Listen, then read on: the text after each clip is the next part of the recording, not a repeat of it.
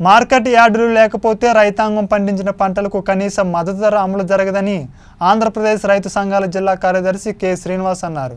ఈ సందర్భంగా పశ్చిమ గోదావరి జిల్లా పెడవేగ మండలం లక్ష్మీపురం వ్యవసాయ మార్కెట్ కమిటీ కార్యాలయం ముందు సిఐటి ఆధ్వర్యంలో ధర్నా నిర్వహించారు.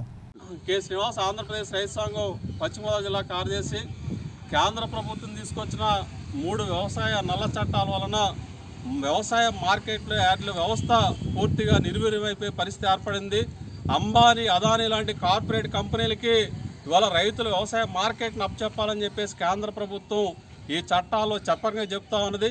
భవిష్యత్తులో వ్యవసాయ మార్కెట్ యార్డులు రద్దయితే గనక ఇటు రైతాంగం అటు కార్మికులు కూడా తీవ్రంగా నష్టపోయే పరిస్థితి ఉన్నది.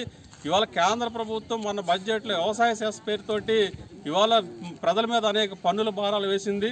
కానీ దీని ద్వారా వచ్చే నిధులు ఏవైతే ఉన్నాయో అవి వ్యవసాయ మార్కెట్ యార్డులు బలోపేతానికి ఉపయోగించాలని చెప్పేసి కోరుతా ఉన్నాం. వ్యవసాయ మార్కెట్ యార్డుల్లో కనీసమైన సౌకర్యాలు కల్పించాలి. ఎందుకంటే రైతులు పంటలు అమ్ముకోవడానికి ఎలక్ట్రానిక్ కాటాలు కానీ లేకపోతే గ్రేడింగ్ మిషన్లు కానీ ఇట్లాంటివన్నీ కూడా వ్యవసాయ మార్కెట్ యార్డులు ఏర్పాటు చేయాల్సిన అవసరం ఉన్నది. ఆ రకంగా రైతులకు ఉపయోగపడే పద్ధతుల్లో కార్మికులకు ఉపయోగపడే పద్ధతుల్లో వ్యవసాయ మార్కెట్ యార్డులు బలోపేతం చేయాలని చెప్పేసి ఇవాళ ప్రభుత్వాన్ని డిమాండ్ చేస్తా ఉన్నాం. కాబట్టి వ్యవసాయ మార్కెట్ యార్డులు ఉండాలంటే కేంద్ర ప్రభుత్వం తీసుకొచ్చిన వ్యవసాయ చట్టాలు త- రద్దు చేయాలి.